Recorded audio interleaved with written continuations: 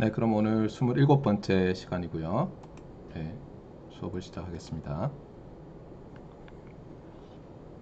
네, 지난 시간부터 우리가 이제 주제를 좀 많이 바꿨어요. 여기 이제 어, 왼쪽에 여기 보시면 알겠지만 우리가 처음에 Signals and Systems 해서 time domain 상에서 공부를 한 다음에 제일 중요한 건 이제 Property였죠. 네, Convolution Sum, Convolution Integral. 그래서 time domain 상에서 시스템을 Linear Time Invariant 시스템을 이해하고 그러니까 analysis를 하고 그 다음에 어, 떻게 디자인하면 대충 뭐 몇 가지는 만들 수 있겠구나 하는 감을 얻었어요. 그런데 어, 그것만으로 부족하기 때문에 우리가 frequency domain 상에서 이제 분석하고 어, 설계하는 방식을 배우기 위해서 제일 먼저 periodic signal의 Fourier series에 대해서 배우고 그 다음에 non-periodic 또는 aperiodic signal의 어, Fourier transform에 대해서 배웠어요. 그리고 그것이 어, 이 시스템, linear time invariant 시스템과 어떤 관계가 있느냐 어, 그것을 배웠죠. 그런데도 불구하고 여전히 어, 디자인하는 데 있어서는 우리의 toolbox 안에 도구가 좀 부족했어요. 그래서 뭘 배웠죠? 라플라스 트랜스폼과 Z 트랜스폼을 배웠어요. 그래서 Laplace transform은 어, 어떻게 보면 continuous time Fourier transform의 확장이었고 two dimensional 어, 확장이었고 Z 트랜스폼은 어, discrete time Fourier transform의 two dimension complex plane로의 확장이었어요. 그래서 어, 이렇게 하고 나서 결론이 뭐냐면 어, LTI 시스템을 우리가 디자인하려고 할 때 linear constant coefficient, differential 또는 difference equation을 써서 input output relation을 잘 근사할 수 있다면 우리가 원하는 어, 할 수 있다고 하면 오더를 정해 놓으면 그 다음에 pole의 위치와 zero의 위치를 잘 정해서 어, 우리가 원하는 시스템을 디자인할 수 있다 이런 거였어요. 맞습니까? 그래서 어, 저는 개인적으로 이 신호 및 시스템 수업을 들었을 때 이 부분이 제일 어려웠어요. 그러니까 LCCDE가 과연 왜 나오는 거냐 이걸 잘 몰랐어요. 그 다음에 LCCDE가 어, linear time invariant 시스템의 모든 것이냐 그런 건 아니었죠. 맞습니까? 그래서 제가 계속 강조하지만 한 가지 방법이다. 하지만 매우 강력한 방법이다. 특히 어, LCCDE, Differential Equation을 잘 생각해 보면 우리가 circuit theory 할 때 나오잖아요. lumped circuit theory라고 했죠. 덩어리 져 있는 component들로 되어 있는 circuit theory 할 때는 어, 너무너무 막강했어요. 그리고 distributed circuit을 디자인한다고 하더라도 이것을 뭐 아주 아주 작게 만들고 어, limit 무한대로 보내면 또 어느 정도 충분히 근사할 수 있어서 매우 유용한 이제 방식이라는 거예요. 그 다음에 여러분이 디지털 시스템이라고 하면 어, 디지털 컴퓨터라고 만약 한다면 어, 여러분은 지금 이제 CPU가 달린 그 폰 노이만형의 컴퓨터를 생각하겠지만 사실은 우리가 그 아날로그 컴퓨터를 생각한다면 어떤 디지털 컴퓨터를 만들 수 있죠? delay component, adder, multiplier 뭐 이런 것들을 써서 또 우리가 어, 디지털 컴퓨터라고 주장하는 뭔가를 만들 수 있죠. 맞습니까? 그래서 wiring 이렇게 저렇게 막 하고 어, 그래서 이제 붐 하고 누르면은 어, 파형이 뚝뚝뚝뚝뚝뚝 이렇게 그려지는 걸 생각할 수 있죠. 그래서 어, 요즘은 물론 이제 워낙 어, 우리 서킷 디자인하기 위한 VLSI 소자 device 이런 것들이 발달해서 아주 작게도 만들고 그다음 거기다가 아예 OS를 얹고 우리가 범용 컴퓨터처럼 이렇게 디자인할 수 있는 많은 것들이 있지만 어, 반드시 그렇게 해야만 하는 것은 아니라는 거예요. 매우 연산 속도가 빠른 걸 만들고 싶으면 그렇게 해서는 안 되겠죠. 맞습니까? 그러면 다시 circuit theory로 돌아가는 거예요. 예를 들면 여러분이 어, 이 요즘 최근에 이제 어, artificial neural network를 써서 뭔가 일을 뭐 많이 하고 싶잖아요. 그런데 그것을 범용 컴퓨터 같은 데서 돌리면 매우 느릴 수 있잖아요. 물론 범용 컴퓨터에서 돌리다 보면 굉장히 큰 어, 매트리스, 뭐 inversion, decomposition 이런 것을 할 수 있으니까 트레이닝 할 때는 유용할 수 있지만 이미 트레이닝 되어 있는 artificial neural network를 실제로 컴퓨터로 돌려서 뭘 하겠다고 하면 매우 매우 느릴 수가 있어요. 그럴 때는 오히려 어, 그냥 우리가 discrete time system이나 continuous time system 이 과목에서 배운 일종의 이 lumped component들을 가지고 디지타 discrete time이라고 하면 delay, adder 뭐 이런 거겠죠. 네, 그렇게 접근하는 방식이 훨씬 간단하게 저 가격으로 빠르게 뭔가를 만들 수 있는 방법일 수 있겠어요. 네, 트레이닝을 계속 할 게 아니라면은 그래서 어쨌거나 여러분들이 어, 이 과목에서 배운 것들의 어떤 새로운 의미를 시대에 맞춰서 발견해낼 수 있으면 좋겠어요. 그래서 이까지 했어요. 이까지 했는데 어, 남은 부분은 이제 샘플링, 그 다음에 통신, 그 그다음에 이제 제어는 못할 것 같아요. 제어 부분은 제어 부분은 자동 제어 과목이 있죠. 아마 다음 학기에 있는 걸로 알고 있어요. 그 다음 학기인가요? 네. 그 다음에 어, 지금 우리가 하고 있는 이 샘플링 그 다음에 interpolation 즉 C2D conversion, CT2DT conversion 또는 DT2CT 컨버전인 D2C 뭐 어, analog to digital converter랑도 관련이 있고 digital to analog converter랑도 관련이 있는 이 부분은 사실은 여러분이 정보통신공학 개론이라든가 아니면 디지털 제어 시간에 또 다루게 되어 있어요. 워낙 중요하기 때문에. 그리고 당연히 어, lecture note 20번에 있는 이 communication application은 정보통신공학 개론 시간에 다시 어, 다루게 되어 있어요. 네, 그래서 여러분들이 이제 어, 핵심은 어, 이 lecture note 18번, 19번 정도까지 이 과목에서 잘 배워놓으면 되겠다라고 생각하면 되겠어요. 그래서 지난 시간에 이제 어, lecture note 어, 18번, 19번에 대해서 이제 어, 말을 했는데 다시 한번 정리를 해봅시다. 어, 지난번에 너무 이제 어, 빠르게 제가 설명을 한 것 같아서 어, 자 이런 거예요. 우리가 하려는 것은 어, 어떤 새로운 종류의 시스템을 만드는 거예요. 어떤 거냐면 이 인풋이 이제 인풋이 어, continuous time signal이에요. 그다음에 output은 discrete time signal이에요. 이름을 일부러 어, X라고 붙이겠어요. 하나는 subscript C, 하나는 subscript D. 그 다음에 어, 여기는 또 어, discrete time signal이 들어가고요. 여기는 continuous time signal이 나오는 이런 종류의 시스템에 대해서 이제 어, lecture note 18번, 19번에서 배우려고 하는데 아, 뭐 이런 mapping은 무수히 많겠죠. 그렇잖아요. 우리가 관심 있는 mapping은 무엇이냐 하는 거예요. 어, 그 중에서 이제 이렇게 하는 것 중에서 뭐냐면 정의를 이렇게 내리는 인풋과 아웃풋의 관계가 이런 간단한 equality로 되는 거예요. Continuous Time Signal을 어떻게 한다고요? 매 t마다 또는 뭐 ts라고도 제가 썼는데 그냥 capital t라고 쓸게요. 매 t마다 evaluation을 하는 거예요. 그런데 어, offset이 있을 수는 있어요. offset이 offset을 달리하면 다른 시그널이 얻어지겠죠. sampling period라고 하는데 이 capital T를 이 숫자의 inverse를 sampling rate라고 하고 이것이 바뀌어도 다른 시그널이 만들어질 거예요. 그래서 사실은 이제 이 두 개의 parameter가 중요한데 보통은 어 그냥 얘는 날려버려요. 왜냐하면 우리가 origin이라는 time origin이라는 것을 요 아웃풋에서 새로 우리가 어떻게 잡으면 되잖아요. 네, 특히 discrete time일 때는 그렇죠. 그래서 보통은 요 델, 델타는 날려버리고 그냥 매 t마다 이벨류에이션 해서 만드는 것 이것을 어, CT2DT 컨버터, CT2DT 컨버터 이렇게 이렇게 부르겠어요. 아, 엄밀히 얘기하면 어, 뭐 유니폼 샘플러 이렇게 불러야 되는데 어, 그냥 이렇게 부르겠어요. 이 과목에서는. 그리고 이제 아래쪽에 있는 것은 당연히 D/C니까 DT2 CT 컨버터인데 이것도 어, 손가락이 convergence라고 쓰려고 자꾸 하고 있어요. converter인데 이것도 이제 어, 그러니까 수없이 많은 방식이 있죠. 그렇죠? 예, 수없이 많은 방식이 있죠. 예를 들어서 어떤 게 있어요? 여러분이 잘 아는 Fourier series coefficient 있잖아요. discrete time period가 뭐 n이라고 해보세요. 그러면 뭐 이런 식이 성립하잖아요. 그렇잖아요. 그런 게 여기 쭉 들어갔다고 하고 여기에 어, 피리어딕 시그널이 나오는 것도 DT2CT 컨버터죠 일종의. 근데 우리가 그런 식으로 하지는 않겠다는 거예요. 여기서 하는 것은 요 위에 나와 있는 어, 요 유니폼 샘플러의 어, 이 기능을 거꾸로 뒤집는 것과 유사하게 하려고 하는데 지금은 좀 이해가 안 가겠지만 어, 이제 이걸 배울 거예요. 이렇게 할 거예요. 어, 요 input discrete time 시그널에다가 어떤 continuous time pulse p라는 것을 씌울 거예요. 그래서 매 어떤 ti마다 이건 ts라고 할게요. 어, 이렇게 하는 거예요. 그러니까 이게 보면 이해가 잠깐 안 갈 수도 있는데 자 left hand side가 time 펑션이잖아요. right hand side의 time index는 어디 있어요? 여기 들어있죠. 그러니까 뭐냐면 p of t라는 펄스가 있다고 해보세요. 예를 들어서 rectangular 펄스고 duration이 뭐 2분의 ti라고 합시다. 예를 들어서 제로고 2분의 ti 이렇게 되면 어, 어떻게 되겠어요? 얘는 매 요거 ti마다 shift를 하죠.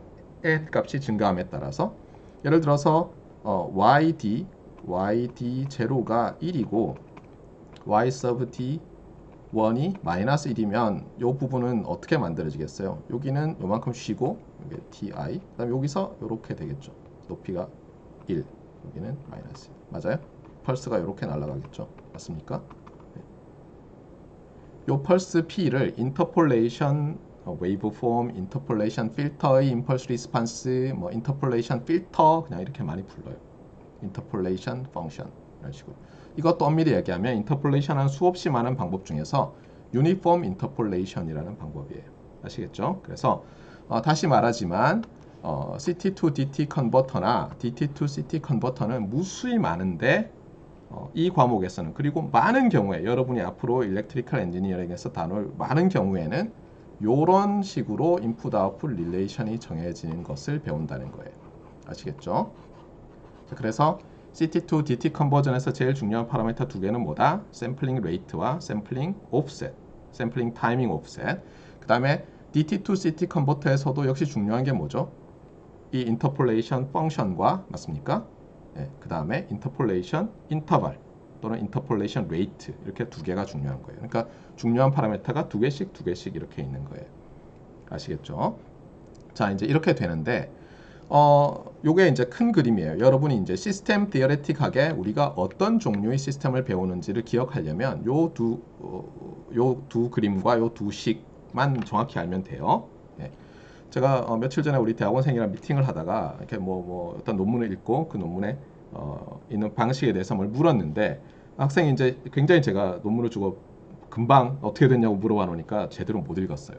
제가 봤을 때. 그래가지고 제가 이제 이렇게 물었어요. 아 그러면 그 사람들이 그 연구자들이 만들었다는 시스템의 인풋이 뭐고 아웃풋이 뭐냐? 그리고 그 인풋 가지고 아웃풋을 낼 때 어떤 최적화 criterion, 어떤 optimality criterion으로 그걸 디자인했냐?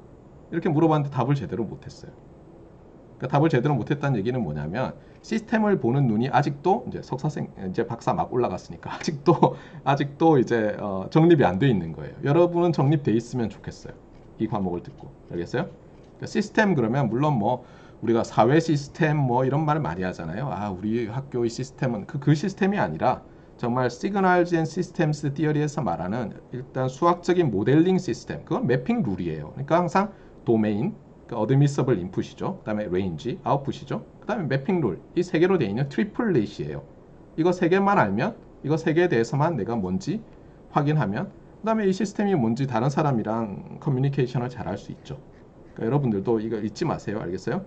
예, 다음 학기에 제 수업을 안 듣더라도 지나가다가 어이 강준길 군 만났는데 그래 요즘 자네는 어떤 시스템을 연구하고 있네 이랬는데 시스템이 뭐예요? 어, 제가 인풋이 뭐고 아웃풋이 뭐고 매핑 룰이 뭐예요? 그랬는데 무슨 소리 하는지 모른다. 아 그러면 폭력 사태가 발생할 수 있어요.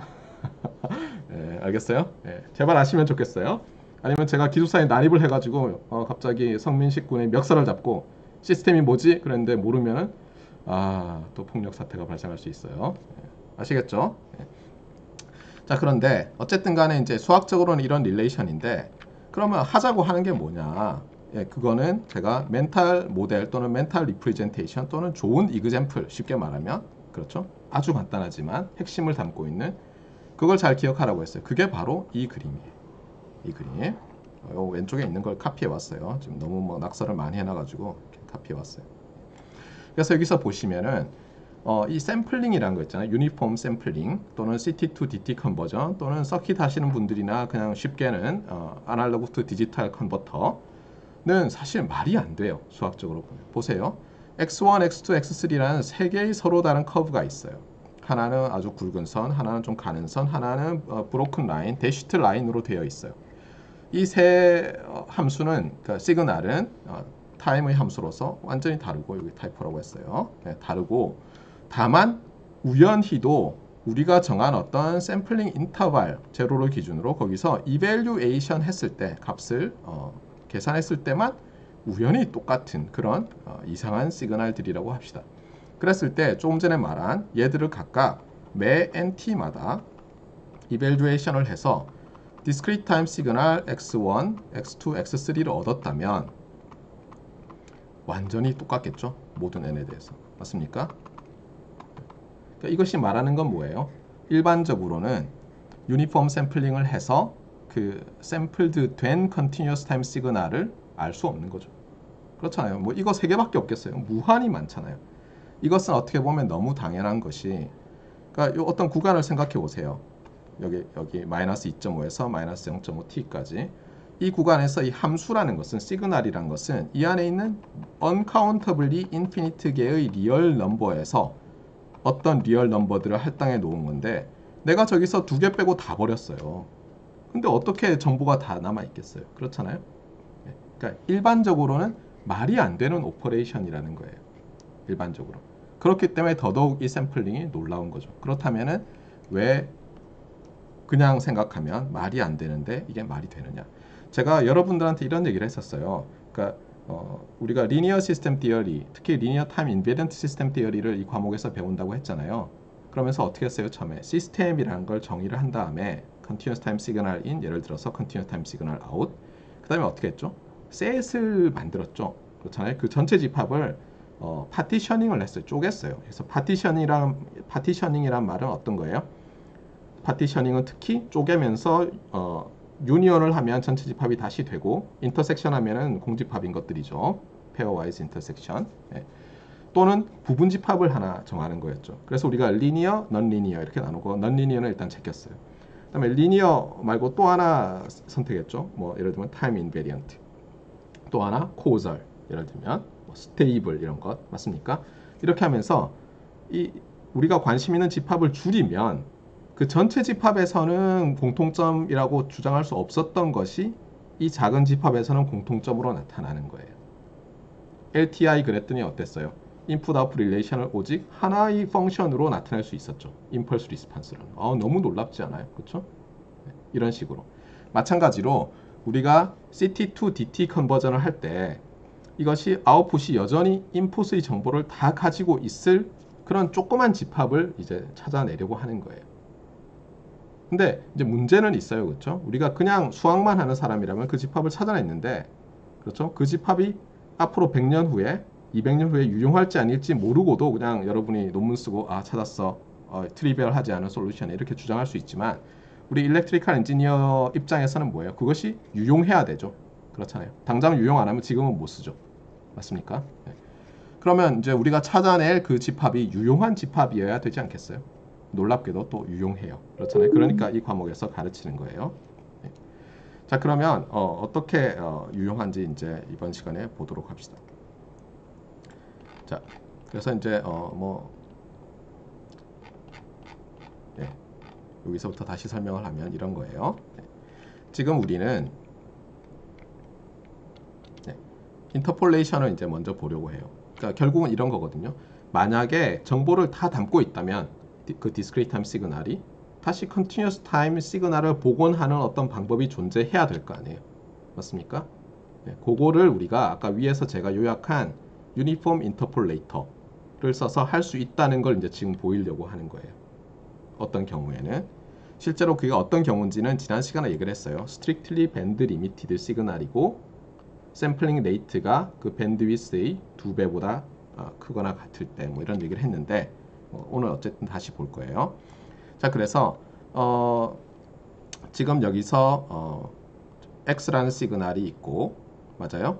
여기서 p of t라는 게 어, 그 interpolation function이 아니에요. 여기선 펄스예요. 임펄스 impulse train이에요. impulse train을 가지고 곱해요.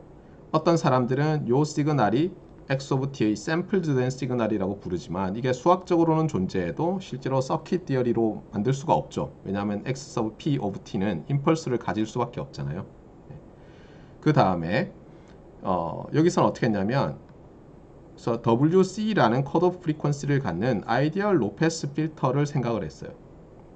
그 다음에 그러면 어때요? 아웃풋도 CT 시그널이죠. 이것을 XR of T, Reconstructed Signal이라고 R이라고 붙였는데 이렇게 했는데 어, 어떤 경우에 요 XR과 X가 같은지를 보겠다는 거예요.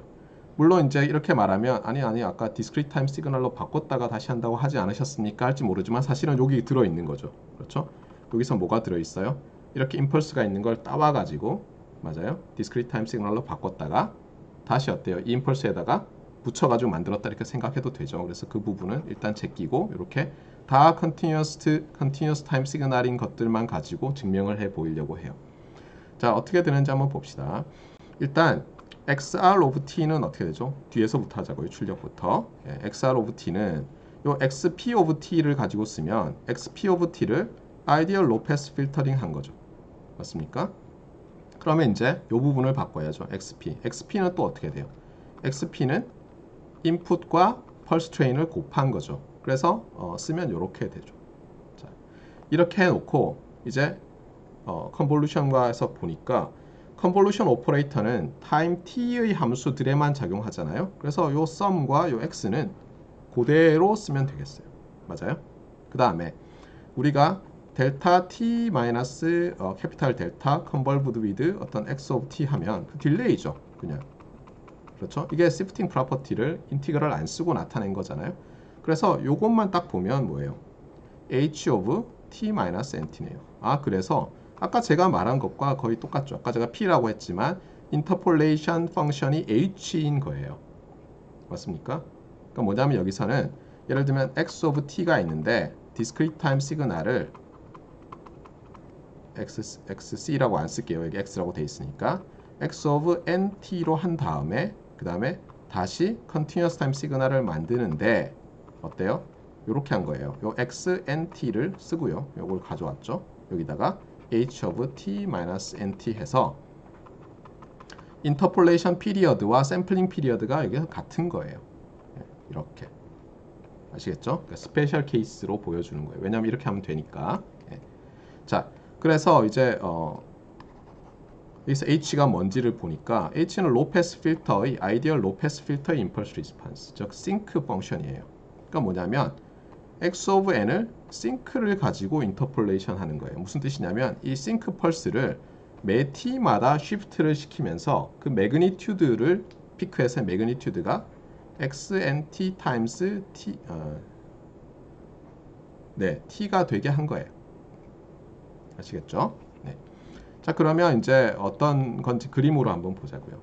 그림으로 보면 좀 이해가 안 가요. 여기 보면 x of t라는 시그널이 있어요. 이렇게. 그 다음에 여기다가 impulse train을 곱해요. 그러면 어떻게 됩니까? 높이가 이렇게 요 시그널의 envelope를 따라가는데 사실 높이가 아니죠. 임펄스의 크기이죠. 높이. 그 다음에 어떻게 하냐면은 여기 보면 알겠지만 여러분이 요 WC가 WC가 어떻게 돼요? 2파이 over T인가요? 네. 2파이 over 어, 제가 알기로는 2분의 T일 거예요. 예. 어디 정의가 있어요. 예. 자 이렇게 된다고 하면 매 캐피탈 T마다 제로 크로싱을 해요. 예. 여러분들 이거 확인하셔야 돼요. 예. 음, 네. 그래서 어떻게 되냐면 이게 지금 capital T잖아요. 그래서 어떻게 되냐면 이 녀석은 뭘로 바뀌냐면 여기서 높이는 여기고 요렇게 zero crossing이 일어나고 이렇게 zero crossing, zero crossing, zero crossing, zero crossing 하는 녀석으로 바뀌어요. 그게 지금 여기에 색칠해 놓은 거예요. 이렇게 아시겠죠? 그 다음에 요 두 번째 녀석은 어떻게 되냐면 여기서 이렇게 sinc function이 이제 씌워지는 것처럼 되죠. 그 다음에 세 번째 녀석은 이렇게 그게 이제 요 밑에 있는 건데 일반적으로는 어때요? 이렇게 sinc function들을 들을 이제 shift하고 높이를 스케일 해 가지고 쭉 더하면 오리지널 시그널이 안 얻어지겠죠. 일반적으로는. 네, 일반적으로는 안 얻어지겠죠. 일반적으로는. 근데 언제 얻어질까 하는 거예요. 역시 질문은. 네.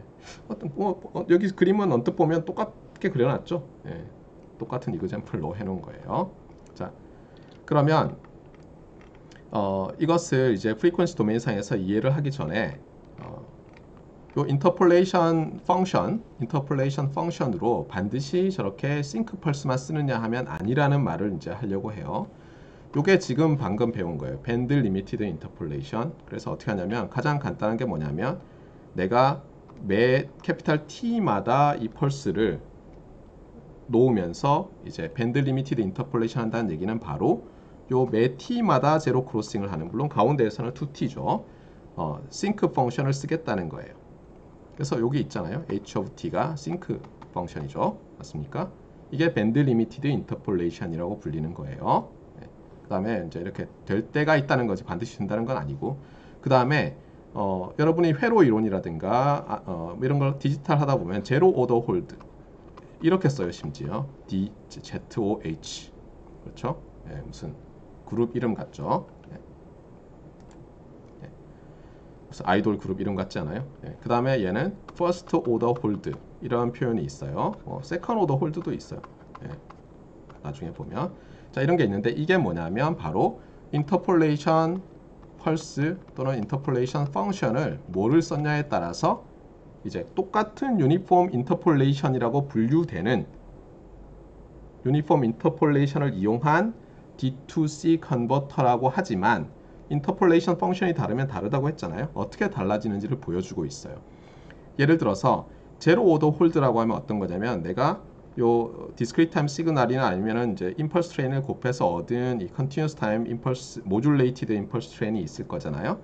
요 spacing에 맞춰서 요, 스, 요 spacing과 두께가 같은 rectangular pulse로 interpolation 펑션을 잡아요. 그럼 어떤 일이 생기겠어요?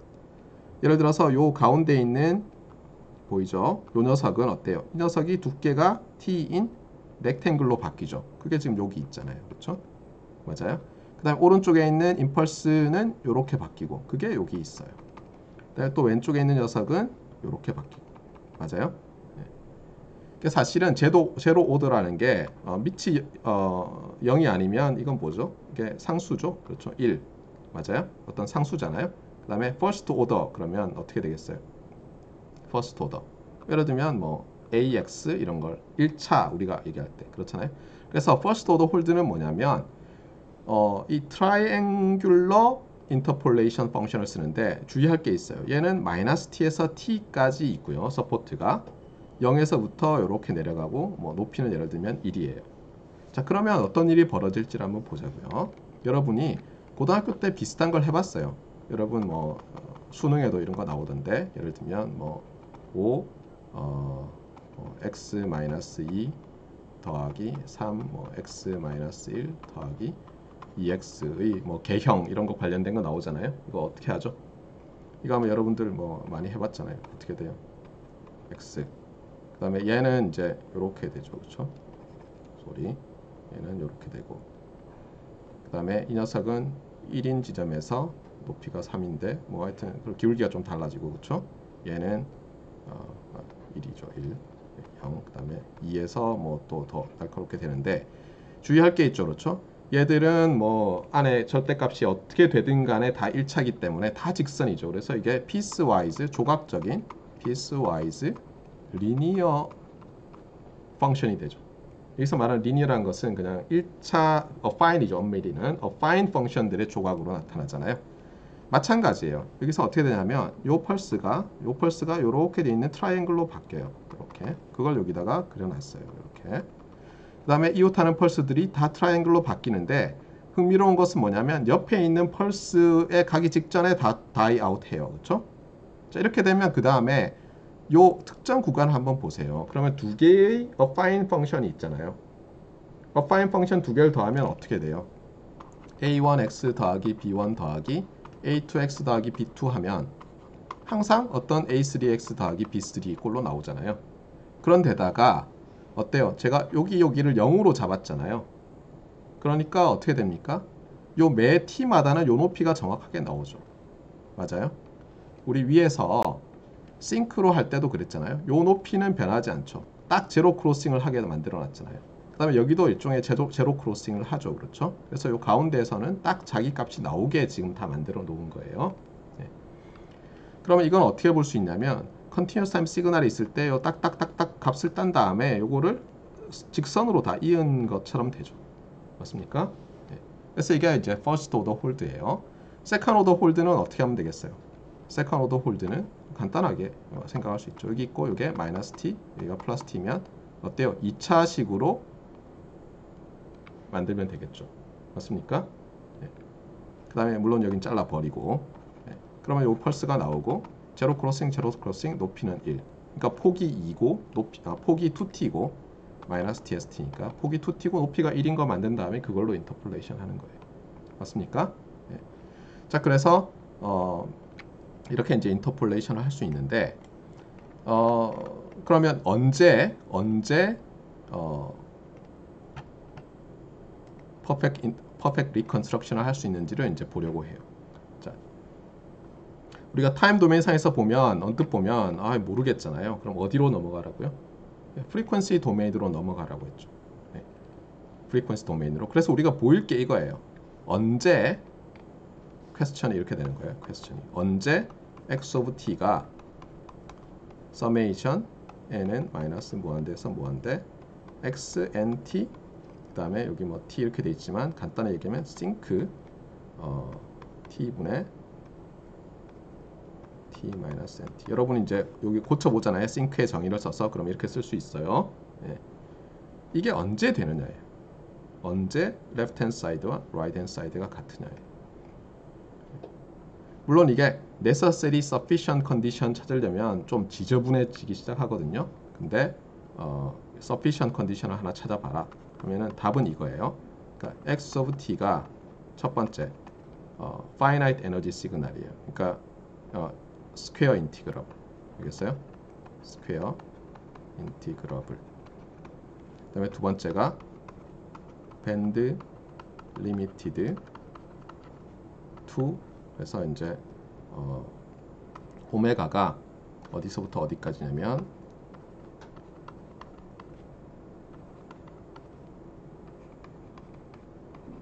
이렇게 돼요.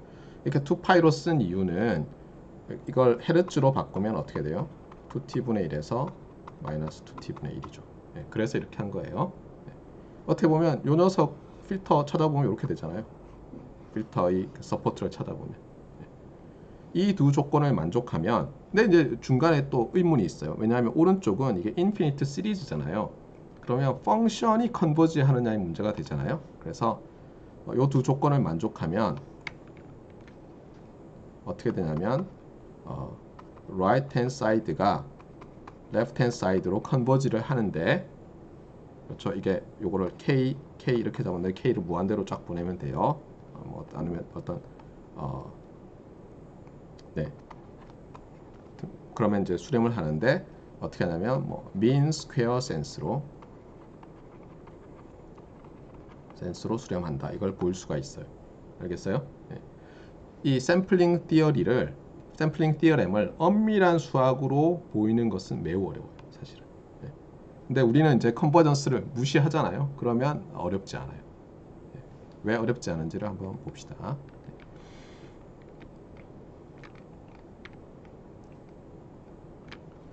자, 우리가 하고 싶은 거는 이제 얘를 거의 스케치죠. sketch of proof죠. 그러니까 제가 이제 어, 대학원 들어가면 여러분이 이제 system theory를 공부하게 되면 뭐 해석학이라든가 측도론을 들어놓으면 매우 유, 익하거든요 예. 특히 signal theory를 하려면은 예. random process 뭐 이런 거 하려면은 예. 그래서 저, 도 이제 대학원 다닐 때 수업을 좀 들었는데 어, 하필이면 이제 어, 제 고등학교 동기 녀석이 수학과로 이제 유학을 왔어요. 그래서 이제 같이 수업을 들었어요. 숙제가 나왔어요. 당연히 저는 이제 수학과 훈련이 안 돼 있잖아요. 딴에는 증명을 한다고 했더니 딱 보더니 아, 준호야 이것은 어, sketch of proof에 불과하다. 네, 스케치다. 증명이 아니다. 뭐 이런 어, 저에게 굴욕을 남겨줬어요. 네. 자, 어, 한번 봅시다. 자, 그러면 일단 어, 어떻게 만들어지는지를 봐야죠. 그렇죠? 어, right hand side는 어떻게 만들어졌어요? right hand side는 아까 x of t에다가 뭘 곱했죠? 임펄스를 곱했죠. 그렇죠? t 마이너스 nt 그 다음에 뭐 ideal lowpass filtering을 했죠. ideal lowpass filtering with cutoff plus minus 2파이 over 2t 맞습니까? 네. 그래서 이 ideal lowpass filter는 frequency domain 상에서 그냥 by inspection 눈으로 되잖아요. 그러니까 얘는 떼놓고요. 얘를 보는 거예요. 얘를. 그게 사실은 지난번에 한 거예요. 그래서 얘를 뭐라고 하냐면 얘를 뭐 예를 들어서 어, z of t라고 합시다. 그 다음에 z of j 오메가를 생각해 봐요. 그러면 어떻게 되죠?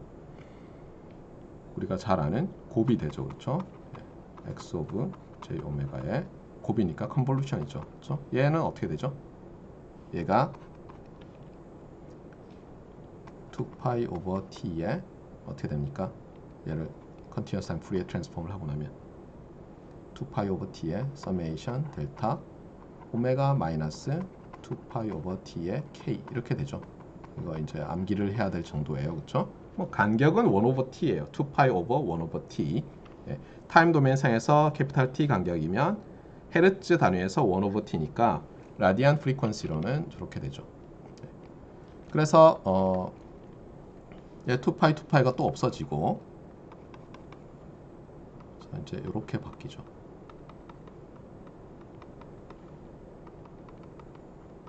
맞습니까? 그래서 이제 그림으로 생각을 하는 거예요. 그림으로. 오메가고 예. x of j 오메가가 있는데 이 디렉 델타들은 2파이 오버 t만큼씩 쉬프트를 시켜요. 그러니까 예를 들어서 여기서 내가 뭔가 있었어요. 이게 x of j 오메가예요. 그럼 얘를 shift 하는데 내가 요 간격이 뭐예요? shift하는 간격이 2파이 over capital t잖아요. 그럼 여기다가 그대로 카피를 뜨는 거죠. 맞아요? 그 다음에 또 움직이고 또 카피를 뜨고 여기도 마찬가지고 그런데 조건이 뭐죠? 오버랩이 일단 생겨보세요. 그러면 우리가 x를 모르는 상태에서 오버랩이 생긴 요 z of j 오메가로부터 x of j 오메가를 추측할 수 있어요? 없잖아요. 간단하게 이게 예를 들어서 이렇게 생각해 보세요. 들어서 x of j 오메가가 이렇게 어, 삼각형이었다고 생각해 보세요. 근데 오버랩이 있어요. 그게 저 example에 나오는 거죠. 그러면 어떻게 됩니까? 네, 그게 이제 지난 시간에 한 거예요. 올라갈게요. 네. 어디 갔어요? 아, 죄송합니다. 밑에 있어요. 네. 아, 여기 있어요. 예.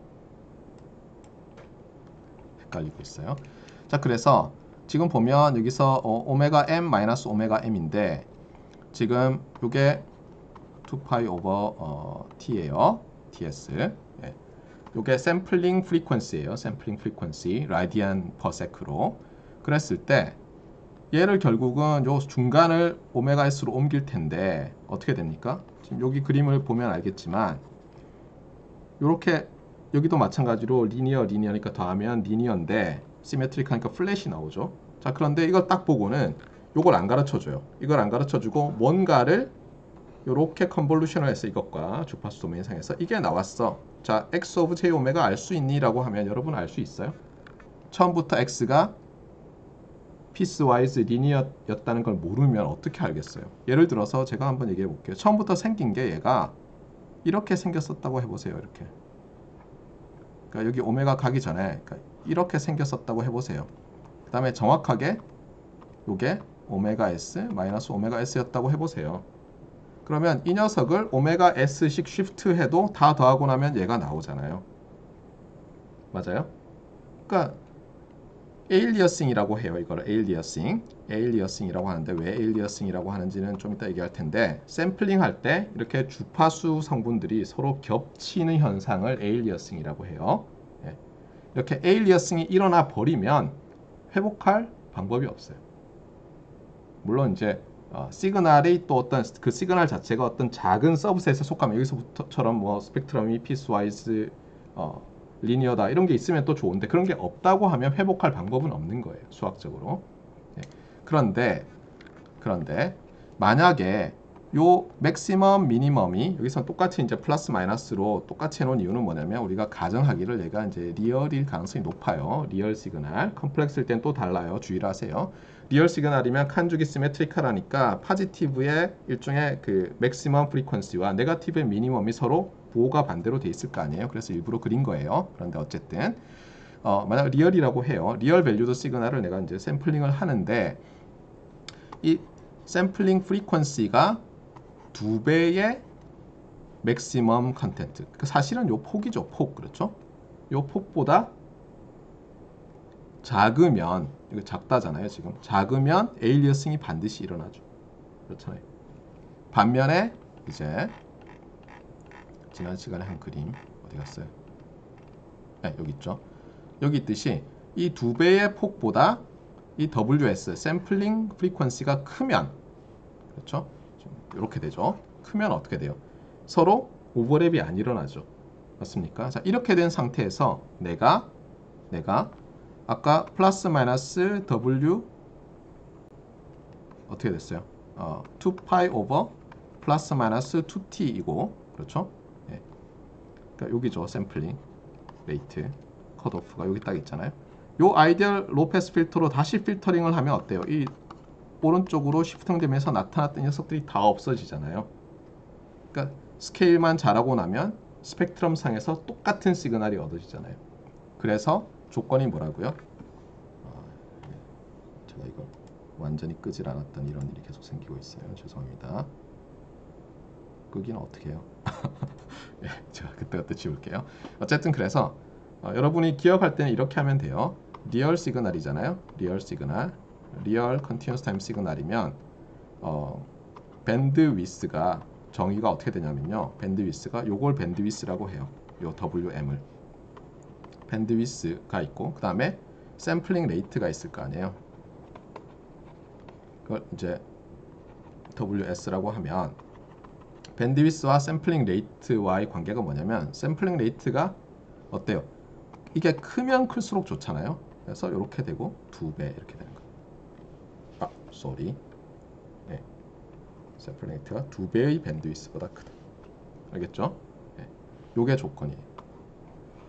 그런데 이게 complex가 되면 좀 애매해요. complex가 되면 예를 들어서 이렇게 생각해 보세요. 어떤 x of j 오메가가 있는데 생긴 것 자체가 이렇게 생겼다고 보세요. 여기가 마이너스 w m의 2분의 1이고 이쪽이 wm이라고 해보세요. 이런 게 가능하잖아요. 그렇죠? 네, 가능하잖아요. 이 시그널은 bandwidth 그러면 좀 정의하기 애매해요. 그렇잖아요. 이때는 양수 부분만 가지고 밴드위스를 정하면 되는데 아, 이쪽으로만 하려니까 사실 이쪽은 적잖아요. 그렇죠? 근데 이 전체 폭으로 하면 2분의 3wm이잖아요. 맞아요? 사실은 뭐라고 해야 되냐면 그러니까 어, 요 폭이 요 폭이 어때요? 작아야죠 샘플링 레이트보다 그래서 여기서는 나중에 여러분이 해보면 알겠지만 샘플링 했을 때요 컴플렉스 시그널 x of t가 어, 어떤 rate t로 또는 레이, 어, rate 더 오메가 s로 샘플링 했을 때 aliasing이 안 나타날 조건은 요 폭 있잖아요 요 요 폭 요 폭보다 크거나 같으면 돼요 아시겠죠? 자세한 것은 다음에 여러분이 어, 정보통신공학개론이나 디지털 통신 뭐 이런 걸 들으면 또 나올 거예요. 그 다음에 디, 디지털 제어 이런 거 할 때. 자, 그래서 어 이제 알겠어요. sinc 펄스로 하면은 sinc 펄스로 interpolation을 하고 그 sinc 펄스의 bandwidth보다 작은 시그널을 샘플링 했었다면 perfect reconstruction이 되는구나. 이제 알겠어요. 그것보다 느린 속도로 하면 어떻게 돼요? 샘플링을 그게 이제 under 샘플링이에요. under 샘플링. 그 under는 무엇보다 낮은 거잖아요. 사실은 이제 under 샘플링 rate로 샘플링 한 것을 under 샘플링이라고 하는데 그러면 기준이 되는 샘플링 rate는 뭐냐? 그것이 뭐였죠 아까? 두 배의 오메가 m이었고 요거를 뭐라고 하냐면 Nyquist 샘플링 rate라고 해요. Nyquist의 어, 샘플링 rate라고 해요. 그래서 Nyquist rate 줄여서 Nyquist rate보다 그렇죠? 빠르거나 같게 해야지 perfect reconstruction이 될 수 있는 거예요. 이것보다 느리게 한 것을 under 샘플링이라고 하고 aliasing이 일어나는 거예요. 알겠어요? 네. 자 그러면 aliasing이란 게 뭐냐? 이름을 왜 이렇게 붙였냐? alias는 또 다른 뭐 별명의 이런 뜻도 되고 그렇죠? 네. 그 다음에 alias라는 말이 뭐예요? alienate 이런 데서 나오죠. alien 다 같은 데서 나오죠. 그렇죠? 네. 뭔가 다른 것 이런 뜻이 되잖아요. 다른 것. 그 다른 것이 뭐가 다른지 이제 이그젠플로 한번 보도록 합시다. 그래서 먼저 어, 이 버분 사진이 있잖아요. 버분 사진. 어, 버분 사진이 있는데 어, 이 왼쪽은 뭐냐면 이 버분 사진을 이제 샘플링을 한 거예요. 예, 이게 아, 뭐 예를 들면 그러니까 예전에 그 아날로그 카메라로 찍은 거라고 합시다. 그게 오리지널 이미지고요. 그것을 그러니까 샘플링을 한 다음에 여기 나와 있듯이 어, zero order hold죠. 그렇죠? 예. 아, first order hold네요. 그러니까 linear interpolation을 한 거죠. linear interpolation을 해서 이미지를 만들었어요. 그랬더니 어때요? 여기 수염 있는 데를 보세요. 막 수염에 뭐가 막 붙어 있는 것 같잖아요. 예. 예, 그렇게 되면 안 되는데. 그래서 예를 들어서 이게 지금 baboon이니까 그래도 보면 알겠는데 예를 들어서 이게 밤하늘을 찍은 거라고 해보세요. 밤하늘. 밤하늘에 어떤 성운을 찍었어요. 여러분이. 그러면 그 성운에 별이 있어야 되는데 뭐예요? 없는 별이 막 보일 거 아니에요. 잘못했다가는. 맞아요? 그래서 aliasing이라는 게 aliasing이라는 게 없는 없는 모양 모양을 만들어내는 거예요. 주파수 영역에서도 없는 걸 만들어낼 뿐만 아니라 그건 뭐 타임 영역까지는 아니지만 타임이라고 하면 타임에서도 없는 걸 만들어내요. 그래서 어 이거 좀 문제가 생기는 거예요. 그러면 여러분 생각에는 이렇게 할 거예요. 아니 뭐 그냥 그러면 뭐 굉장히 어 sampling rate를 빨리 하고 그렇잖아요. sampling rate를 빨리 하고 그 다음에 뭐 wideband로 하면 되겠네. 근데 문제는 sampling rate가 빨라지면 우리가 예를 들어서 음성 신호라고 해보세요. 음성 신호인데 sampling rate를 높이 하면 어때요? 똑같은 시간의 음성을 더 많은 샘플로, 더 많은 비트 수로 저장을 해야 될 거잖아요. 그건 우리가 원하는 게 아니죠. 뭐 어떻게 해야 되죠? 네. 그게 이제 이 anti-aliasing filtering이라는 거예요. 그러니까 AAF라고 하는데 앞에서 이제 저 위에 나왔는데 그때 제가 설명을 안 했어요. anti-aliasing filter를 어떤 때는 AAF라고 하기도 하고 filtering까지 해서 어, AA, AAF를 한다. anti-aliasing filtering을 한다. 뭐 이렇게 말을 하는데 이런 거예요. 어떻게 하냐면 이건 예를 들면 이런 거예요. 내가 샘플링을 나중에 할 rate가 이미 정해져 있어요. 그럼 어떻게 되냐면 그 sampler로 샘플링을 할 때 aliasing이 일어나지 않도록 original signal을 lowpass filtering 해가지고 잘라버리는 거예요. 주파수 영역에서. 그래서 여기 보면 이게 플러스 마이너스 2pi over 2t죠. 맞습니까? 네, 오메가예요. 네. 요 AAF의 가장 ideal한 경우는 뭐냐면 내가 sampling rate가 지금 2pi over t잖아요. radian per sec 또는 1 over t 어, samples per sec. 이 samples는 사실은 단위는 아니에요. 그렇죠? 그냥 헤르츠죠. 네. 요거의 절반. 어, 요거의 절반이죠. bandwidth를 갖는 cutoff를 갖는 ideal lowpass filter를 가지고 먼저 내 signal을 filtering해요. 그럼 얘가 even if band unlimited라도 band unlimited라고 하더라도 얘는 band limited가 나오죠. 맞아요? 그 다음에 여기서는 요 뒤에는 C2D 컨버전을 with rate 2pi over t 또는 어, radian per sec 또는 어, 1 over t 헤르츠로 하면 어때요? 적어도 aliasing은 이제 방지가 되었죠. 그래서 이런 filtering을 anti-aliasing filtering이라고 하는 거예요. 그러면 당연히 여러분이 이렇게 얘기할 거예요. 아니 아니 아니 이게 지금 어, 이렇게 필터링 해버리면 또 시그널 정보가 날아가지 않느냐? 어? 차라리 aliasing이 일어나는 게 낫지 않느냐? 그렇잖아요. 뭐 sampler가 이미 주어져 있어서 rate를 못 바꿔서 그냥 느린 under sampling을 하더라도 예? 그리고 심지어 band unlimited signal은 Nyquist rate가 무한대잖아요. 그러니까 무조건 under sampling이죠. 뭘 하든 그냥 under sampling 하더라도 샘플링 하는 게 낫지 AAF 아닌 것 같은데 라고 얘기할까봐 우리 친구 교수님이 벌써 전에 그쵸 이런 그림을 넣어놨어요. 예. 그 baboon 사진인데 여기는 뭐냐면 anti-aliasing filtering을 하고 샘플링을 했어요. 그 다음에 똑같이 어, first order hold로 interpolation을 한 거예요. 어때요? 이상한 게 없죠. 그렇잖아요. 여기, 여기 코털들을 보세요. 조금 뭐 흐리죠. 그렇죠? 조금 흐리지만 그러니까 어때요? high frequency가 잘려 나갈 거 아니에요. AAF를 하면 anti-aliasing filtering을 하면 맞아요? 그러니까 좀 화면이 좀 뿌옇게 되긴 하지만 이런 이상한 건 안 생기잖아요. 이런 이상한 거는 그렇잖아요. 맞아요?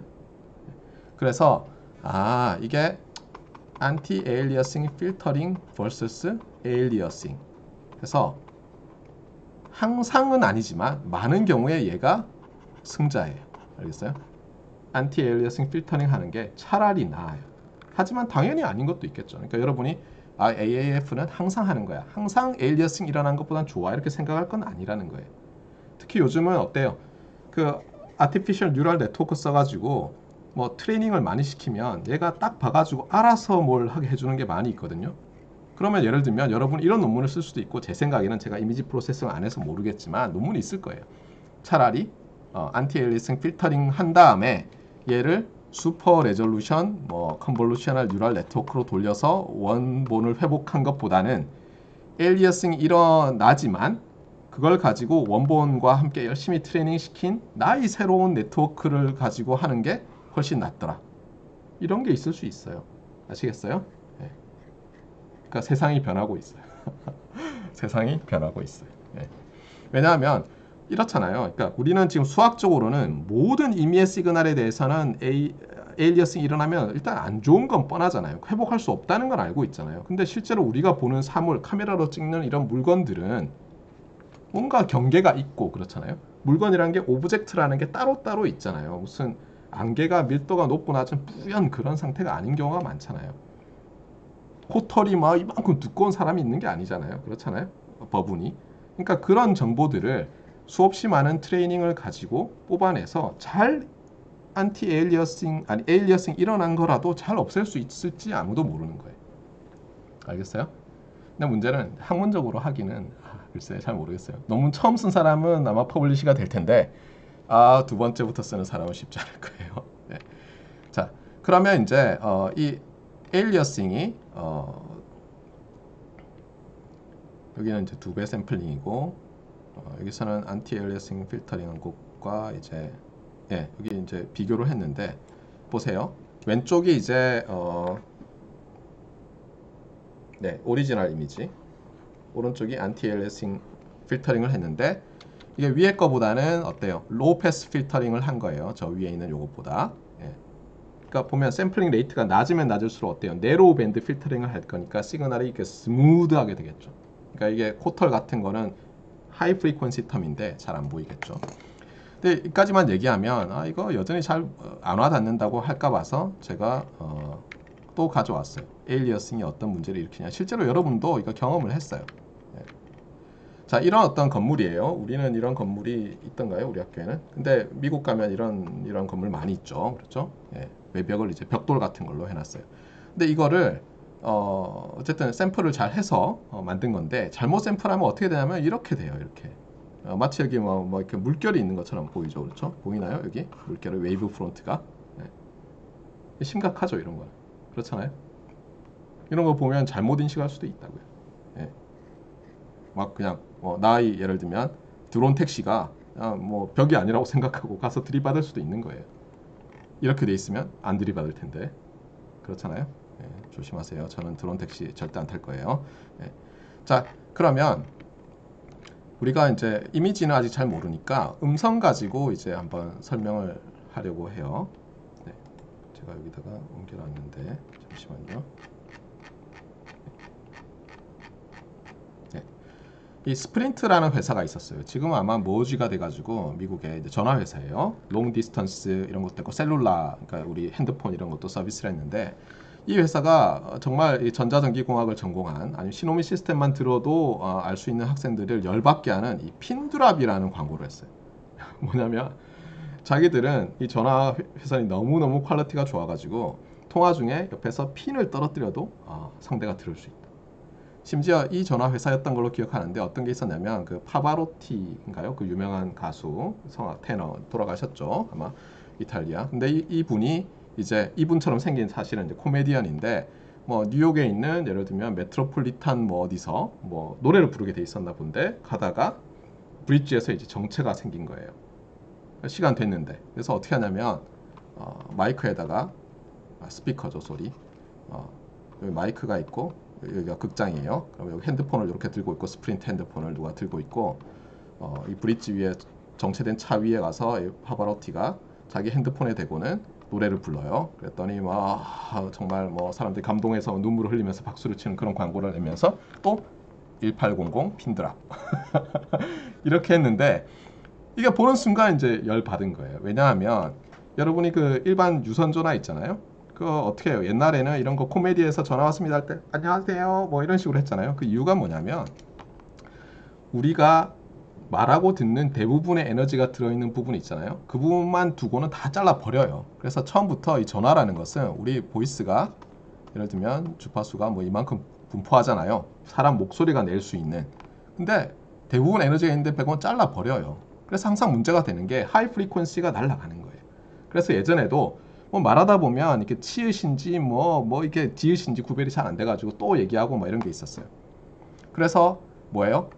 여러분이 그 영어 회화할 때 뭐예요? 항상 배우는 게 뭐 see, 뭐 as in, 뭐 Charlie, 뭐, 뭐 이런 이런 표현들 많이 쓰죠. 그렇잖아요. 하나씩 여러분 이름을 spell 할 때 예, 미국 가면 이런 일 정말 많거든요. 예, 여러분이 뭐 예약하려고 그러는데 여러분 영어 이름이 없어요. 한국 이름밖에 없으면 그거를 뭐 예를 들면 뭐 어, 뭐 경아라는 이름이 있다고 해보세요. 그래서 이거를 K Y O U N G 아 이렇게 썼어요. 여러분이 여러분 생각에는 야 0인데 K 붙이면 0, K 붙이면 경 해야 되는데 이 사람들은 어때요? 내가 경 그러면 못 알아들어요 하나도. 이게 0에 K를 붙인 거라고 생각 안 하고 오히려 이거 스펠을 불러주잖아요. K in kite, 뭐 Y in 뭐 해서 불러줬어요. 뭐 그럼 아 카이용, 카이용 이렇게 얘기하죠. 아 no. Can you say young? Yes, young. Put K, 카이용 이렇게 되는 거예요. 그렇죠? 예. 근데 어쨌거나 어 그래서 이렇게 하는 이유 중에 하나가 뭐냐면 또 우리 이름 이상한 것도 있지만 그 자음들이 높은 프리퀀시를 가져요. 치읓 이런 거 있잖아요. 아 히읗 이런 것도 그렇잖아요. 네. 그래서 이게 날려버려서 그런 거예요. 날려버려서. 그러면 cellular phone은 안 그러냐? 마찬가지예요. 지금 여기 여러분이 voice over LTE 이거 하면은 좀 많이 깨끗하게 들리죠. 안 하면 어때요? 3G로 하면 아, 거의 똑같아요. 거의 잘라버려요. 잘 안 들리는 거예요. 특히 옆에 막 트럭 지나가잖아요. 안 들려요. pin drop 안 들려요. pin drop은 high frequency예요. 잘 안 들려요. 네. 그다음에 파바로티의 노래 아 다 잘라버렸어요. 뭐 올라가면 갈수록 잘라버려요. 이게 좋을 리 없잖아요. 그렇잖아요. 네. 맞아요.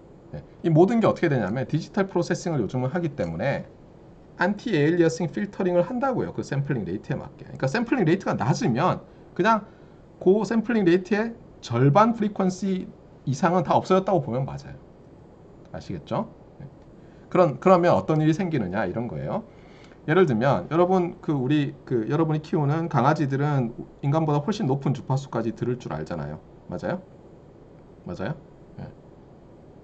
네. 그럼 예를 들어서 내 방에서 막 어? 개들이 들을 수 있는 소리가 막 들려요. 나는 못 듣지만. 네. 그런데 어, 예를 들면은 뭐 예를 들면 이렇게, 이렇게 해봐요. 우리 가족들이 서울에 있어요. 근데 강아지가 두 마리인데 톰은 내가 키우고 있고 제리는 우리 와이프가 아이들이랑 키우고 있어요. 근데 톰이랑 제리는 뭐 무슨 소리를 들으면서 서로 짖거나 뭐 이런 걸 하고 있어요. 근데 내가 막 얘기를 하고 있는데 톰이 막 컹컹컹컹 짖으면서 제리 보고 야 저기 날아다니는 박쥐의 아름다운 소리가 들리지 않니? 핀드랍이라며 이러는데 제리는 뭐라 그래요? 안 들려 무슨 개소리야 이러고 있는 거예요 왜냐면 개들끼리 하는 소리니까 네, 잘랐잖아요 잘라서 안 들리는 거예요 아시겠어요? 네. 그건 마치 비유를 하면 이거랑 똑같아요 그러니까 어떤 외계인이 왔어요. 외계인이 와가지고 우리 그 QLED, 뭐 OLED 이런 TV를 보면서 뭐라 그러겠어요. 우리가 아 색상 재현율이 너무 좋지 않냐고 이러면 정신 나갔다 그러겠죠. 왜냐하면 우리는 어떻게 해요? 연속적인 스펙트럼에 있는 빨주노초 파남보가 있는 그 real world를 어떻게 해요? RGB나 뭐 이런 걸로 어때요? 우리 눈에는 nonlinear해서 이렇게 색깔을 구별할 수 있지만 그거 조합해가지고 만들어내서 재현하잖아요. 그럼 당연히 외계인이 볼 때는 실제 사물과 바로 옆에 있는 그 카메라로 찍어서 다시 TV로 OLED로 한 그 화면을 보면 두 개가 완전히 달라 보이는 거예요. 왜냐하면 그 외계인이 보면 오른쪽에는 RGB밖에 없거든요. 스펙트럼이. 중간에 있는 스펙트럼 다 날라간 거예요. 비슷하죠, 그렇죠? 네, 그래서 항상 어, 이 샘플링 관련해서 여러분이 잘 알아야 돼요. digital processing을 하다 보면 네, 주의해야 될 일들이 마구마구 생기는 거죠. 자, 어쨌거나 그래서 어, lecture note 18번은 끝이 났어요. 예. 여기 이제 제가 지난번에 이제 붙여놨다가 안 읽어준 게 있는데 요거예요. 이 어, 다음번에 할 게 이제 요 lecture note 19번에 할 게 D2C conversion 이미 cover를 했기 때문에 사실 빨리 나가고 제일 중요한 것은 뭐냐면 어, Discrete Time Processing of Continuous Time Signal이라는 거예요. 그러니까 예를 들면은 여러분이 얼마 전에 그러니까 어, 이건희 회장께서 돌아가시면서 이제 프랑크푸르트 선언에 대한 어떤 기사들을 봤을 거예요. 뉴스를 좋아하는 학생들은 그래서 93년 제가 군대 마치고 막 복학했을 때예요. 예. 이때 이제 어, 이 삼성전자 그 당시 젊은 이건희 회장이 이제 그 강연 비슷하게 하면서 이제 선언을 했던 게 결론은 뭐 이런 거였어요. 결론은 마누라와 자식 빼고는 다 바꿔라. 뭐 이런 거죠. 요즘으로 하면 이제 우리 성인지 감수성 높게 얘기하면 배우자와 자식 100원 다 바꿔라 뭐 이렇게 얘기를 해야 되는데 어쨌든 그러면서 이제 삼성전자가 한 단계 도약을 했어요. 사실 CEO들이 뭐 이런 말들은 많이 할 수 있죠. 그렇죠? 더 이상 우리가 이렇게 하면 안 된다. 근데 타이밍이 너무너무 좋았어요. 왜냐하면 이때가 아날로그 아날로그 제품에서 디지털 제품으로 변환하는 이, 이 혁신의 시기였어요. 혁명의 시기였어요. 이 디지털이 굉장히 빨리 발전하고 있는 이제 막 발전하는 시기였거든요. 거기 이 프랑크푸르트 선언이 물론 다르게 해석하는 무수히 많은 사람이 있는데 제가 봤을 때는 결정적인 역할을 한 거예요. 예를 들면 이래요. 저 93년에 제가 어 이제 저는 유학 가려고 막 맨날 이제 그 이어폰 워크맨에 이어폰 끼고 있었어요. 요즘 말하면 MP3 듣고 있었어요. 뭐 예를 들면. 근데 그게 이제 보케블러리 22,000 뭐 이런 보케블러리 어휘 어, 어, 소리였는데 제가 이제 어 그 처음에는 소니 걸 썼어요. 그러다 고장이 나서 산요 거를 썼어요. 다 일본 회사죠. 괜찮았어요. 그러다가 어, 산요가 한번 떨어뜨려가지고 뭐 이상하게 됐길래 에이 하면서 국산을 샀어요. 어느 회사 거라고는 얘기하지 않을게요. 그랬더니 못 듣겠어. 아 그냥 그냥 키면은 슉 하는 잡음이 깔려 있어요. 그래서 다시 산요 거를 어떻게 뚱땅뚱땅 해가지고 그냥 분해되기 일보 직전인 걸 들으면서 다녔어요. 그러면서 어느 세월에 우리는 따라잡나 이러던 때예요. 이게 93년. 그때는 스피커, 뭐 잡음 뭐 잡는 거 이런 거를 다 소위 말해서 장인들이, 메스터들이 이제 하던 거예요. 그런데 디지털로 되면서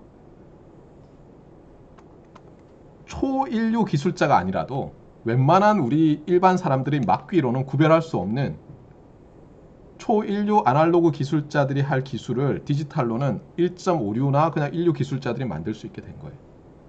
그래서 뭐 혁명이 일어난 거죠. 일본 사람들은 그 나이든 장인들이 아직도 마이크 뭐 무슨 서킷에서 아날로그로 튜닝하고 있었을 때 우리는 디지털로 과감하게 간 거예요.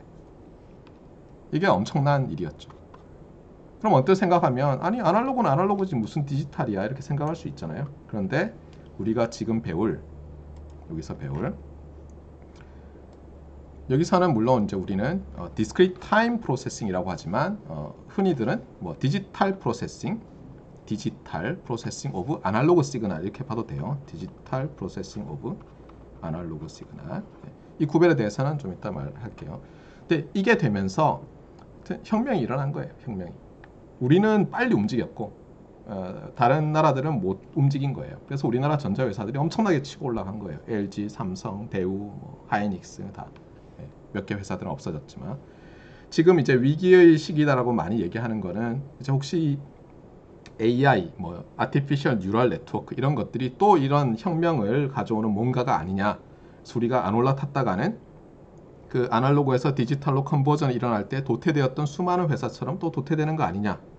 이런 위기 의식을 많은 어, 우리나라의 지도자들이 각계의 지도자들이 하고 있어서 요즘 이제 정부에서도 계속 AI 쪽으로 많이 밀고 있죠. 여러분들도 그래서 어, 관심을 가져야 되겠어요. 무슨 일이 발생할지 모르니까. 찻잔 속의 태풍일 수도 있어요. 그냥 몇 개 그냥 재밌는 뭐 image processing용 도구다. 이렇게 끝날 수도 있어요. 예. 하지만 아닐 수도 있죠. 이세돌의 알파고처럼. 아, 이세돌의 알파고가 아니죠. 그렇죠? 예, 딥마인드의 알파고가 예, 이세돌을 이긴 것처럼. 자, 그러면 이제 어, 이 디지털 이라는 말과 어, discrete time이라는 말, 그 다음에 아날로그 continuous time의 구별을 조금 할게요. 여러분이 이제 4학년 어, 1학기 아마 3학년들도 있을 거고 어, 어, 내년 1학기에 보면은 이제 디지털 신호 처리, 디지털 신호 처리라는 과목이 개설이 돼요. 영어로 하면은 뭐 어, DSP, digital signal processing이에요. 그런데 뭐 어느 교과서를 쓰시는지는 모르겠어요. 우리 담당하시는 교수님이. 근데 저는 DSP 수업을 들어갔더니 교과서가 Discrete Time Signal Processing이에요. 그래서 저는 처음에 이제 같은 말이라고 생각을 했는데 물론 많은 경우에 같은 뜻으로 쓰여요. 많은 경우에. 하지만 엄밀하게는 뭐냐면 이 discrete time signal이라고 하면 이런 거예요. discrete time signal x of n은 어떻게 보면 함수예요. 어디서 어디로? z에서 r 또는 z에서 c로의 함수 이렇게 되는 signal을 discrete time signal이라고 해요. 특별히 그러니까 이 range에 제약이 없어요. 그런데 디지털이라고 하면 digital signal이다. xn이 digital signal이라고 하면 우리가 sequence로 모델링을 할 때도 알겠어요? sequence로 이미 예, 모델링을 할 때도 얘는 예를 들면 x가 Z에서 어떤 어, r의 부분 집합인데 부분 집합으로 가는데 얘가 finite한 거예요.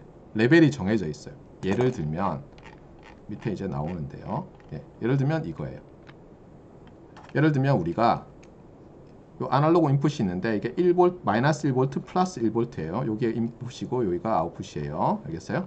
예, 그러면 요 함수가 그려지잖아요. 그렇죠? 네. 함수를 아예 비트로 할당을 해요. 또는 이거를 0부터 7까지로 하겠어요. 그럼 어떻게 되죠? 이거는 인풋은 마이너스 1에서 1 사이의 모든 real number인데 출력은 어떻게 돼요? 출력은 0, 1, 2 해서 7까지밖에 안 되잖아요. 맞아요? 이렇게 아웃풋이 finite에서 만약 비트를 할당한다면 finite number of bits 이렇게 할당되는 signal이 있을 거 아니에요. 똑같이 우리가 sequence로 모델링 하더라도 그럴 때는 digital signal이라고 많이 불러요. 알겠어요? 그때는 discrete time이라고 잘 안 불러요. 디지털이라고 불러요. 하지만 어, discrete time signal이라고 굳이 말을 하면 대부분 경우에는 이런 제약을 하지 않아요. 그래서 여러분들이 구별을 조금 해야 돼요. 그 다음에 또 하나는 이거예요. 서킷 하시는 분들은 digital signal인데 그려봐라 그러면 예를 들어서 이쪽을 continuous time 축으로 그리고요. 여전히 예를 들면은 요 변하는 레벨을 정해놔요. 예를 들면 변하는 레벨을 예를 들면 0V, 2.5V, 5V 이렇게 해놓는 거예요. 변하는 레벨만 알겠어요? 여전히 continuous time signal인데 우리 생각에는 이게 continuous time signal이고 그러니까 x of t가 그래서 x의 도메인은 r이에요. 그런데 변하는 게 예를 들면 0, 2.5, 5밖에 안 되는 거예요. 이거를 디지털 시그널이라고 하기도 해요. 알겠어요? 그러니까 여러분이 똑같은 페트로나스 쌍둥이 빌딩에 있어도 말하는 게 다 다를 수 있다는 걸 반드시 잊지 마세요. 근데 여기서는 어쨌든 discrete time processing of 어, discrete time processing of 어, continuous time signal이라서 저렇게 어, finite resolution으로 quantize 한다고 하거든요. 우리가 quant가 덩어리, 네, quantization이 양자화 이렇게 번역하잖아요. 네, 덩어리로. 어, 그것은 우리가 거의 고려를 안 할 거예요. 이 과목에서는. 그런데 실제로 제가 아시는 어떤 교수님은 AI를 하시는데 뭐냐면 어차피 디지털 신호 처리를 하니까 quantization effect가 트레이닝을 했을 때의 문제점 그 다음에 그 어, artificial neural network의 성능에 주는 영향 이런 거를 전공하시는 분도 있더라고요 네. 본래 전공이 quantization 쪽이셨어요 신호 처리에서 그러니까 여러분들이 그러니까 새로운 어떤 조류가 왔을 때 내 분야와 비교해서 내 분야가 여전히 기여할 수 있는 부분이 있지 않을까 찾으면 되는 거예요. 알겠어요? 반드시 모든 사람이 AI를 처음부터 해야 되는 건 아니에요. 왜냐하면 AI는 많은 경우에 어플리케이션이지 띠어리 하는 사람들은 그렇게 많지 않거든요. 하지만 대학은 학문적인 띠어리로 이제 어, 인정을 많이 받고 그러죠. 자, 그러면 재빨리 봅시다. 예. 제 목표는 어, 7분 만에 다 끝내는 거예요. 물론 못 끝내겠죠. 자, 그래서 이제 샘플링을 리뷰를 하고 있어요. 그래서 본래는 어때요? 본래는 샘플링 한다는 게 반드시 이렇게 impulse train을 곱해서 여전히 continuous time이 continuous time으로 있는 것만을 샘플링이라고 하진 않는다고 했어요. 네. 샘플링이라고 하면 벌써 discrete time signal로 conversion 한 것을 샘플링이라고 많이 부른다고 했어요. 이 부분은 이제 interpolation 하는 부, 어, 분이죠 그래서 cutoff가 여기 주어져 있고 당연히 이 cutoff는 어, sampling rate와 관련이 있어요. 그렇죠? 이렇게 맞습니까? 이렇게 될 때 조건이 뭐라고요? 얘 시그널의 bandwidth가 어, 더 오메가 m이라고 하면 그 다음에 이거를 오메가 s라고 하면 오메가 s가 두 배의 오메가 m 이상이 돼야 된다고 했어요. 그런데 이제 어, 제가 example을 하나 안 줬는데 요 반대로 되면 이제 under sampling이라고 했고 aliasing 일어난다고 했는데 자 요게 이제 어, 질문이에요. 아 제가 이제 미국에서 박사를 하고 미국에서 교수를 하겠다고 인터뷰를 다녔어요. 제가 한 서른 군데 지원했을 거예요. 여섯 군데에서 인터뷰를 오라고 했고 제가 여섯 군데 중에서 다섯 군데 오퍼를 받았고 한 군데 못 받았어요. 이게 시라큐스 대학이었는데 시라큐스 대학에 인터뷰를 하러 갔더니 아, 이 공개 강연이잖아요. 그래서 학부생도 오고 대학원생도 오고 이러는데 끝난 강연은 다 끝났어요. 제 저는 이제 뭐 direct sequence spread spectrum에 대한 어, 제 박사 논문을 요약해서 했는데 그다음에 학생들이 이제 있는 상태에서 이제 질문을 하는데 아 이게 우리 뭐 교수님들이 당신을 테스트하는 것일 수도 있으니까 뭐 그런 질문도 하겠다 이러시면서 어느 교수님이 이렇게 물었어요. 자, x of t가 continuous time signal sin 어 파이 sin 어 파이 t over capital t로 주어져 있어요. 그러면서 저보고 물었어요. 이 시그널 band limited죠? 그러는 거예요. 제가 그래서 예, band limited입니다. yes. 그럼 bandwidth 얼마죠? 그때까지만 해도 제가 이 교수님이 저를 함정으로 끌고 간다는 사실을 전혀 모르는 어린 양이었어요. bandwidth 얼마예요? bandwidth 얼마죠? 이거 그리면 어떻게 돼요? 이거를 그리면 이 to the 얼마에서 보면 여기가 뭐 F로 하면은 여기가 1 over 2t죠. 맞습니까? 네. 오메가로 하면 2파이 over 2t예요. 해보세요. 안 어려워요. 그래서 예, bandwidth는 어, 1 over 2t 헤르츠입니다. 이렇게 얘기했어요. 자, 그랬더니 이 교수님이 드디어 어, 함정을 파셨어요. 자, 샘플링을 한번 하려고 합니다. 그러면서 어, 이 시그널을 매 T마다 샘플링을 하래요. 저보고. 매 T마다 샘플링 해보래요. 그래서 이제 사인이니까 어때요? 이게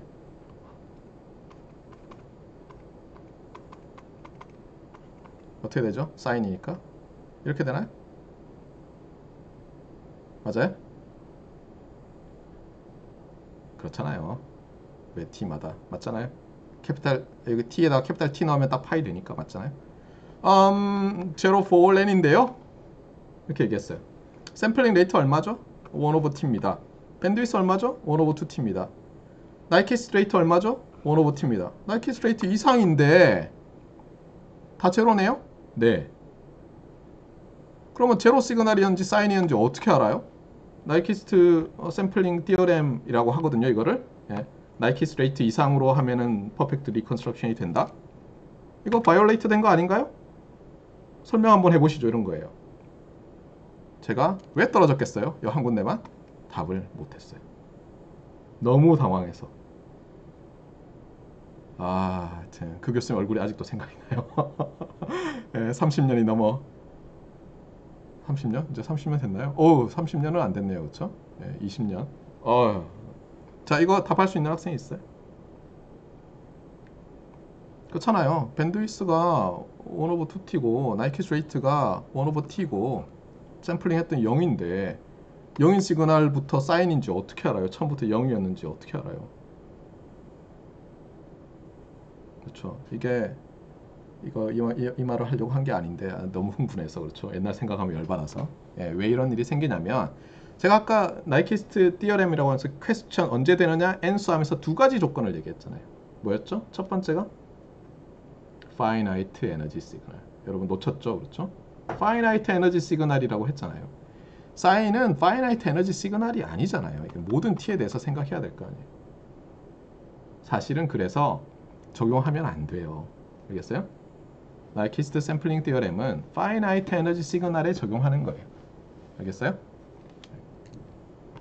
그다음에 또 하나는 사실 어거지로 얘기하면 이래요. 얘를요. 얘를 매 t마다 shift하면 정확하게 cancel이 될 거예요. 아마 이게 맞아요? 그래서 사실 0이 되는 거죠. discrete time domain상에서. 네. 근데 이것도 이제 어떻게 하냐면 델타를 델타를 아 이게 제로 왼쪽에 있는 거냐 오른쪽에 있는 거냐 이렇게 하기 시작하면 또 말은 되는데 하여튼 어, 일단 핵심은 finite energy signal이 아니라서 적용하시면 안 됩니다. 어, 이렇게 말하는 게 사실은 맞아요. 자, 그래서 어쨌거나 여기서도 그래서 코사인이 나와서 이제 갑자기 생각이 났어요. 네. 코사인이 나와서 생각이 났어요. 어, 이것도 또 지나가고. 네, 그래서 어쨌든 어, 시간은 거의 다 됐지만 일단 quantization이 뭐냐? quantization은 어때요? 아날로그 인풋이 들어오면 이것을 정말 디지털 비트로 나타내는 건데 우리는 수학적으로 생각하니까 이걸 굳이 비트라고 하기보다는 이런 finite한 range를 갖도록 mapping을 한다. 억지로. 이렇게 보면 되겠어요. 근데 문제는 그러면 요거를 0에서 7까지 이렇게 연속으로 만든 이 함수에 비하면 그렇잖아요. 마이너스 1을 0이라고 했다고 해보세요. 1을 7이라고 하고 그러면 요만큼씩 에러가 있죠. 오차가. 그렇잖아요. 이것을 quantization noise라고 해요. 그래서 문제는 뭐냐면 딱 보면 느낌이 뭐예요? 어 잠깐만 지난번에 뭐 뭐 어? 그 CD 처음 나왔을 때 사람들이 소리 이상하다고 했던 거 그거 뭐 다 어? 맞는 말 같은데 디지털로 바꾸면 노이즈 있는 거 아니에요? 할지 모르지만 이 비트 수가 굉장히 많아요. 그래서 이 레벨이 굉장히 좁아서 실제로는 이게 있으면 이거를 이렇게 된 signal로 이렇게 된 signal로 하는 거예요. 그러니까 두 가지예요. CD로 가면서 디지털화 했잖아요. digitize 했잖아요. 하나는 뭐냐면 하나는 anti-aliasing filtering을 할 수밖에 없어요. 근데 우리가 충분히 높은 사람들이 가청 주파수 웬만한 사람은 못 듣는 것까지 커버하도록 해요. 실제로 CD는 전화기랑 달라요. 44.1kHz로 샘플링 하는데 사람이 20kHz 정도밖에 못 들어요. 그러니까 이거 두 배보다 더 크잖아요. 예. 두 번째는 이 quantization이에요. 근데 quantization도 많이 해요. 12비트, 예, 16비트 이렇게 하고 하기 때문에 사실 노이즈도 그 아날로그 앰프에서 옛날에 슉 하고 깔리는 그 잡음, 그 다음에 그 홈이 있잖아요. LP판에서 홈이 닳아서 없어져서 생기는 거 비하면 아무것도 아니에요. 물론 이거 말고도 이제 mapping을 할 때 저렇게 linear하게 mapping하지 않고 이렇게 nonlinear하게 mapping할 수 있는데 그런 거라든가 이런 거 생각하면 뭐 틀린 말이 아닐 수도 있지만 대부분의 사람은 못 알아듣는다 이렇게 보면 되겠어요. 자 오늘 뭐 흥분해가지고 시라큐스 대학에서 이제 어, 받고 먹었던 얘기를 하느라고 지금 진도를 열심히 못 뺐는데 마지막으로 요것만 얘기하고 지나갈 테니까 여러분이 한번 잘 생각을 해보세요. 이 strobo, strobe, strobe, 네, strobe라는 게 뭔지 알죠? 여러분 핸드폰에 그 예를 들면 앱들 있는데 거기 그 램프 앱 있잖아요. 거기 보면 이렇게 조정하면 몇 헤르츠로 깜빡거리는 거 있죠. 그렇죠? 그거죠. 그래서 여러분들이 어, 고등학교 물리 실험 할 때 이런 거 했잖아요. 그렇잖아요. 등속 운동할 때 이렇게 strobe로 깜빡깜빡깜빡 찍어 놓으면 어때요? 등 간격으로 나타나고 이런 게 있죠. 네. 그건데 이것과 그 aliasing과 관련이 있어요. aliasing과. 그게 뭐냐면 실제로 이런 일이 있었어요. 스키아 파넬, 파렐리, 스키아 파렐리라는 이탈리아 아마 그렇죠 여기 있네요. 이탈리아 천문학자인데 이 사람이 이제 큰 공원이 이제 어, 첫 번째가 이 마스, 요즘 일론 머스크가 가겠다고 하는 화성의 운하 타령의 이 사람이 어, 오해를 일으킨 원흉이에요. 이 사람은 이제 이탈리아 사람으로서 자기가 까나리 뭐 이런 표현을 썼대요. 그게 번역이 채널이란 뜻인데, 그러니까 협곡 이런 뜻인데 이게 번역이 잘못되면서 캐널로 번역이 된 거예요. 운하로 영어로. 그러면서 갑자기 이걸 본 사람들이 화성을 망원경으로 보니까 운하가 보이기 시작한 거예요. 그래서 화성인이 있다고 생난리를 쳤어요. 이게 있고 하나는 뭐냐면 이 사람이 이 에일리어싱 관련해서 큰 실수를 함으로써 어, 이 에일리어싱의 중요성에 대해서 이제 환기를 시켜준 거예요. 뭐냐면은 수성의 공전주의가 뭐 이렇게 된대요. 잘 모르겠어요. 예. 그 다음에 자전주기가 어, 이게 다른데 같다고 주장을 했대요. 이 사람 관측을 해가지고. 근데 여러분이 알겠지만 우리 태양이 여기 있으면 수성은 가까이 있고 우리는 여기 있잖아요. 그래서 어때요? 태양 가까이 가면 안 보이잖아요. 그래서 해가 지고 뜨고 할 때만 보일 거 아니에요. 그렇잖아요.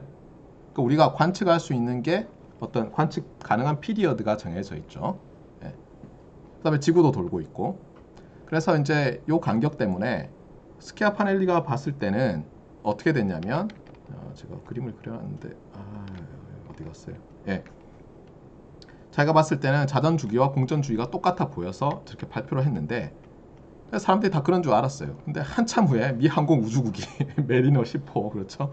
예, 1960년대예요. 제가 알기로는 70년대인가요? 예, 70년대겠네요. 저 75년 좀될것 같아요. 보냈더니 아 글쎄 아니라는 거예요. 이게 aliasing 때문에 그런 거예요. 그러니까 under sampling이 된 거예요. 우리가 관측을 할 때 스키아파렐리가 또는 지구에서 관측하면 이 어, 수성이 이렇게 움직이고 자전하는 거를 우리가 under sampling한 효과가 난 거예요. 그래서 이런 일이 벌어진 거예요. 또 언제 볼 수 있죠, 이거는? 여러분이 예를 들어서 영화에서 보면 우리가 벤허 얘기를 저는 신호 및 시스템 들을 때 우리 교수님이 해주셨는데 벤허 영화를 여러분이 이제 어, 그 넷플릭스 이런 데서 한번 보세요. 오리지널 벤허 리메이크 된 거 말고 그러면 이제 이렇게 마차 경주가 있거든요.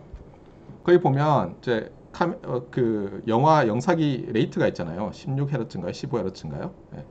그러다 보니까 어떻게 되냐면은 바퀴가 거꾸로 가는 것처럼 보여요. 네.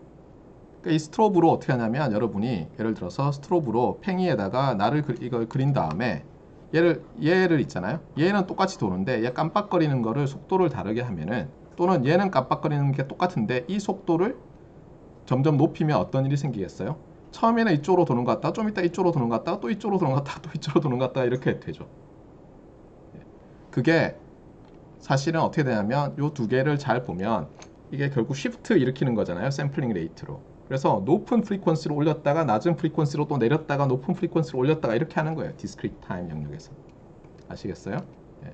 또는 어, 오른쪽에 많이 뒀다가 왼쪽에 많이 뒀다가로 볼 수도 있어요. 그러니까 그 오메가 도메인상에서 파지티브에 뒀다가 네가티브에 밀어놨다가 이렇게도 볼 수 있어요. 그래서 이 부분에 대해서 여러분이 한번 생각을 하고 어, 다음 시간에 들어오면 좋겠어요. 자 오늘은 여기까지 하고요. 어, 질문 있는 학생들은 질문해 주시고 질문 없는 학생들은 나가셔도 되겠습니다. 네, 여기까지 합시다.